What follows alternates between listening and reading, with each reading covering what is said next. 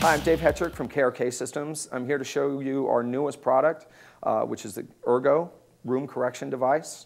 With KRK, all we've ever made are studio monitors. And we've always uh, strived to make the best monitors on the planet. And I think we succeed. The thing is, we found is if you put the best studio monitor in the planet in a screwed up room, you're still going to have issues getting the mix that you want. We worked with a company called Lyngdorf who developed a room correction algorithm called Room Perfect which has over 10 years in research and development. What we've done is we've adapted it to, for use in the modern control room. So the core functionality of Ergo is the room correction and the room correction algorithm. Uh, the algorithm has 1,024 correctional filters. Uh, so it can hear the difference between a boost in your room at 100 hertz and a dip in your room at 101 and correct both of those. And 1,022 more. That's some quick math. So the core system consists of a measurement mic, ships with the measurement mic. You plug it into the back of Ergo. Ergo connects to your computer via FireWire. You install the software and bring up the control panel, which steps you through the process of tuning your room. Basically, you connect the microphone. It asks you to set it in focus position, which is basically where your ears are going to be, and it sends out a number of test tones into your room. Once it does that, it asks you to move the microphone randomly around your room to get another measurement. And what's unique to the Room Perfect algorithm is that it compares the focus position with another room position. Here's the differences between the two and generates uh, what knowledge it has of your room. And then asks you to move the mic again and does an, uh, another random measurement of your room, compares the three, and tells you how to go on. A lot of our competitors just do a sweep of the room and that's it um, or they ask you to do multiple ones and it averages it. With the Room Perfect algorithm, and this is very, very crucial to the success of tuning your room, it, it listens to the differences between the different measurements and determines how many more measurements you need to do before it gives you a flat room.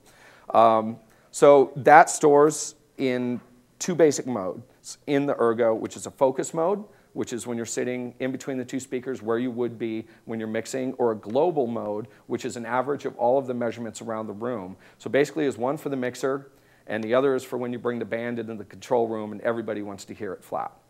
So that's the core functionality again. Um, once you're finished with the correction, it stores it in Ergo, at which point you can disconnect it from the computer and it stores it here. Ergo also has a speaker switcher.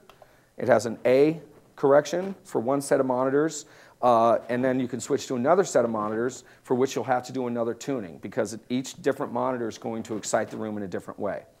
So you can do an A or B correction with two different sets of speakers. You can see on here it has A or B slash sub.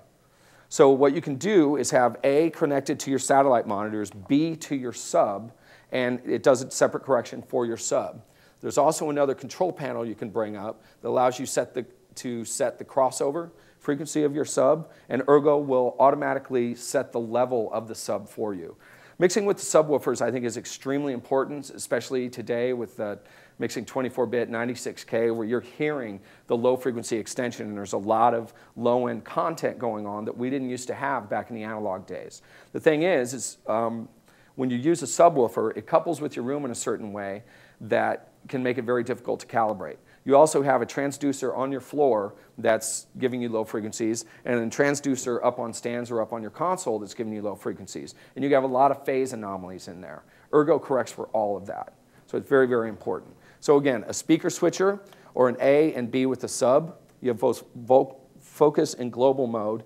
You also have a digitally controlled but analog passive volume control. So this can work as your control room volume, and it's very transparent. The ins and outs of Ergo is that you can use it in analog mode, so you can just come in analog, does the correction, sends it out to whatever pair of monitors you want. You can come in digital, so you can use SPDIF. This is what we find a lot of our Pro Tools users are using, is they come out, their main out into this digitally, does the uh, correction and sends it out analog. It will actually function as a FireWire sound card if you would like, and you can even use it to record via the inputs and uh, it has separate outputs. Even the headphone out is a discrete output that you can route using your DAW through FireWire um, and has a nice uh, low volume control on the side. It also has a Kens Kensington lock uh, to keep it from walking away from all your criminal clients. Um, that's the basics of Ergo. Uh, it works for both Mac and PC. It's extremely uh, versatile using an analog, digital, or through FireWire mode. And it's available in stores now, as is my newest CD. You can find information there at davidhetrick.com. Any questions?